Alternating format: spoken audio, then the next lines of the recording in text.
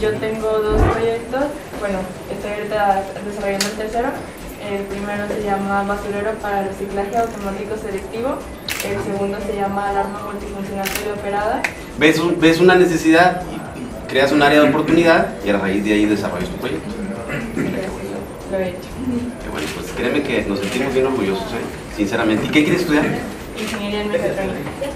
Nos sentimos muy contentos de, de Itzel, eh, de todo el país. Pues imagínense ustedes el Premio Nacional de la Juventud desde aquí de Victoria. ¿Y ¿Cómo apoyarlos? Bueno, eh, primero que nada, necesitamos saber dónde están.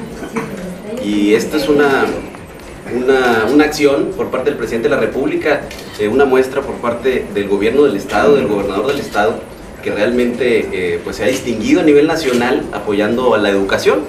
Y tenemos que hacer un esfuerzo sumamente importante nosotros como representantes populares teniendo eh, esa oportunidad, pues creando las leyes, primeramente sobre los estímulos para que estas, esta- estas personas que, que tienen un talento importante, pues seguir apoyándolas y seguir obviamente impulsándolas con becas, con reconocimientos, etc. Equipo, Centro Noticias, Tamaulipas.